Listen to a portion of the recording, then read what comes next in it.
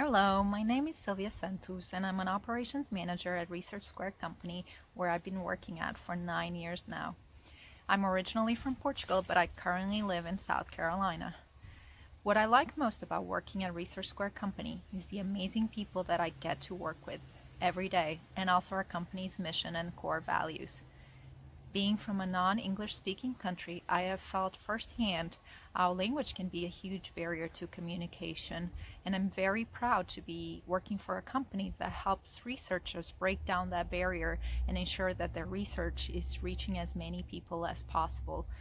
And I'm very grateful that I get to do that with an amazing and caring group of people that support each other and truly live by that mission.